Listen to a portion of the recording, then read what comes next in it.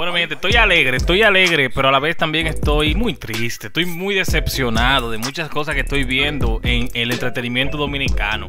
Da pena y vergüenza de que al día de hoy todavía sigamos en diciembre del 2021 hablando de la situación de Jen Quesada y de DJ Sammy, mi gente. DJ Sammy, eh, bueno, un exitoso productor, DJ, disc jockey dominicano que lamentablemente se ha puesto en una relación en la cual él va a terminar muy mal, mi gente. Miren, la situación de DJ Sammy yo la veo parecida a la de Mozart La Para, mi gente. Mozart La Para, un artista exitoso y por situaciones con, ¿verdad? Situaciones personales que no deberían traer, ¿verdad? Situaciones penosas como la que estamos viendo de DJ Sammy y del propio Mozart.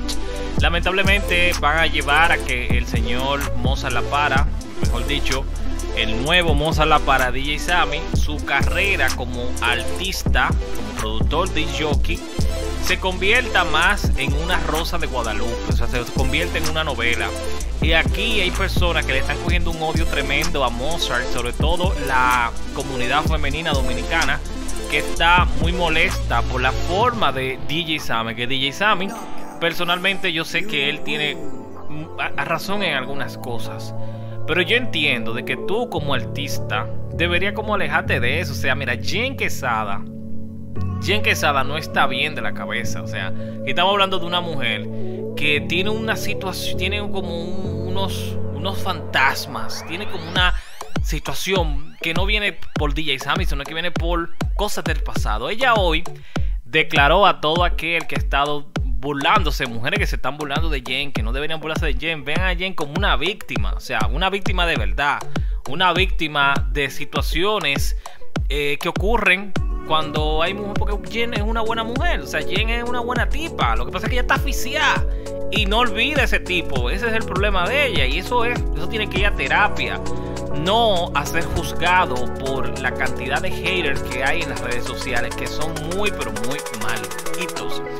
Ella hizo unas declaraciones y yo se las voy a poner. Recuerden que hay una noticia muy buena que yo le voy a comentar en este video. Así que vamos a leer ahora lo que Jen Quesada escribió en su cuenta de Instagram hablando acerca de la situación penosa. Dice así, mi gente. Que le regue, que le ruegue. Sí lo sé, lo admito. Y estoy cargando con mi error. Como con todas las cosas que he hecho en mi vida. Normal. Soy un ser humano y lo único que hice ese día fue actuar como una persona profesional y adulta, que entiendo que no le estaba faltando el respeto a nadie, sino más bien intenté crear un ambiente agradable para la gente, más nada. Siempre que visito ese establecimiento, canto. Pero por favor, vamos a ser un poquito más empáticos. Vamos a hacer respetar los niños que no tienen nada que ver con el faranduleo, ¿verdad? ¿Cuál es la necesidad? ¿Por qué no pueden tener respeto por un menor de edad? Que usted no conoce, que no es famoso y que usted no tiene derecho de hacerlo pasar un momento así frente a más personas. ¿Por qué? ¿Quién les da ese derecho? ¿Cuál? ¿Cuál? ¿Cuál? Les cuento, estoy en un supermercado con mi hijo menor, o sea, Coco. Y ya saliendo, terminando de pagar con él de la mano, entra una mujer al parecer mínimo tiene que ser loca o le falta un poco de neuronas porque al verme empezó a vocearme, valórate.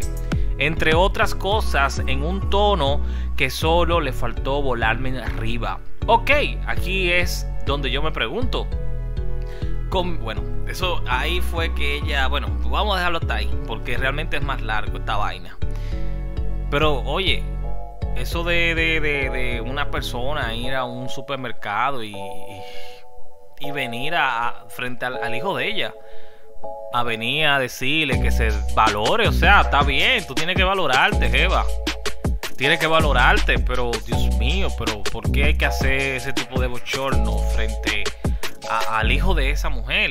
Porque ahí venimos, el niño no, el niño, los, los hijos de Jen no son figuras públicas, no tienen Instagram, ella no lo sube, ella lo subió dos o tres veces porque son sus hijos, tú sabes. Que los padres eh, viven a sus hijos. Entonces, como viven a sus hijos, los publican, pero no como figura. Esos niños nunca han hablado. Esos niños hay que, hay que tener cuidado con los muchachos porque ellos no son figuras. No tienen Instagram, no tienen nada, no son nada, no son fulano quesada, nada de eso. Entonces, esa mujer es una falta de respeto. Hay que coger y llevarla al Parque Independencia y bajarle la vaina y coger con una, con una correa y darle par de correazos por fresca, señora. Ojalá que por ahí alguien diga, mira fulana, están hablando de ti en YouTube. Sí, a usted que darle una pela por fresca. Eso no se hace. Eso no se hace. Otro tema. Bueno, a, DJ Sammy lo han amenazado, tú sabes, de todo. Y DJ Sammy, repito, el problema de DJ fue haber ido a esa vaina. A ponerse con Jen, a hacer un show. Parecían dos, dos, dos perritos dos elefantes en un circo, dos elefantes parecían ahí con, la, con la trompa, con unas peloticas, pam, pam, parecían eso. yo lo vi como dos animales ahí arriba.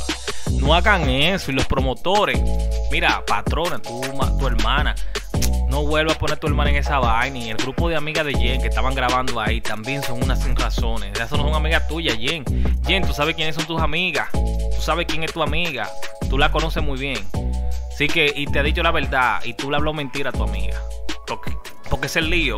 Cuando ella no era tan famosa, era la mejor amiga. Ahora que es famosísima, ahora las amigas de ella son un grupo de loca vieja. Así que Jen, revisa. Vamos a seguir con otro tema. Y la noticia positiva del día de hoy es la situación de Braulio Fogón, mi gente, que subió su cuenta de Instagram que se va para los New York, mi gente. Le tengo una buena, le tengo buenas noticias. El Fogón en USA 2022 dijo pilo, pilo, pilo, la vuelta es Dios.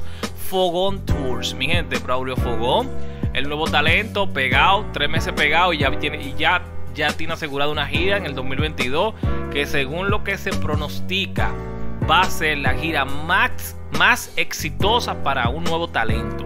Si nuevo talento es un artista que tiene menos de un año pegado. Y Braulio Fogón con 3, 4 meses pegado tiene, ya ustedes saben, o sea, una cosa magnífica. No puedo dar detalles porque realmente esto está en una versión beta. Pero esto es un anuncio que se le hace a los a los seguidores de la música urbana en Estados Unidos, que lamentablemente, oye, dominicanos de Estados Unidos, que son los dominicanos y los de Europa también, la diáspora, todos los que están fuera de la República Dominicana, no es que sean mejores que los que están aquí, en el patio, porque los que están aquí también apoyan. Pero los dominicanos que están en el extranjero, me da pena que no pueden ver sus artistas por situaciones. Mira el caso de Rochi, que no puede ver Rochi. Tú sabes, todos los dominicanos que no pueden coger un viaje para Santo Domingo por razones ajenas a la voluntad del que no le quiere dar visado a un tipo como Braulio, un tipo como Rochi, que son situaciones, tú sabes, que son tan poco ajenas que no se la quiere dar. Pasa es que hay situaciones, ¿verdad? Vaga la redundancia, que son complicadas. Entonces, Braulio Fogón para los United States of America, mi gente. Así que ya saben, mi gente, suscríbanse a este canal, da me gusta y ve la caja de comentarios a tu respectiva opinión acerca de todo esto. Es importante hacerlo, pero lo pongo para USA. DJ saben, por favor, ya, ya bájale. Y en Quesada, también bájale. Así que ya saben, hasta la próxima. Los artistas le encantan decir que no tienen problema con nadie, pero siempre lo tienen. Y más cuando son problemas contra, eh, de, contratos, eh, de, de, vaina de, de negociaciones. A veces los artistas vienen donde ti, tú lo firmas y cuando tú te enteras que le diste los cuartos, invertiste en él, él tiene por ahí un contrato por ahí. Tú le dices, tú tienes contrato de distribución con alguien.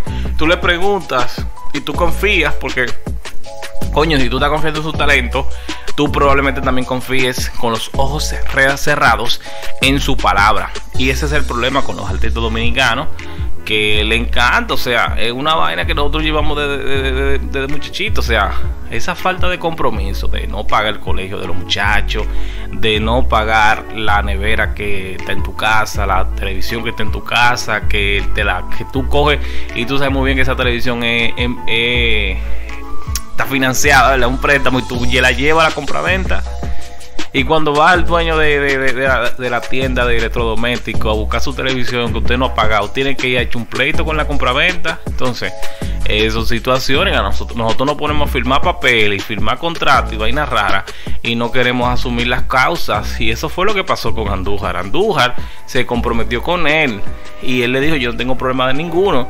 Entonces, eso fue un tigre de Roche, pero nada ya le pagó los 15 mil dólares que el Andújar había pagado de adelanto a Rochi y los otros 13 mil dólares, porque son 28 mil dólares. Andújar dijo que son 15 de el adelanto que le dio a Rochi cuando lo filmó, ¿verdad? Fue un adelanto para que el artista, tú sabes, se sienta bien. Y después le pagó, eh, bueno, gastó 13 mil dólares en gasto de representación, que esto, que una vez cuando le metieron preso al mono. Eh, que tuvo que sacar 13 300 mil pesos para poder sacarlo del aeropuerto, que estaba preso porque el tipo estaba siendo buscado por la autoridad. es el lío.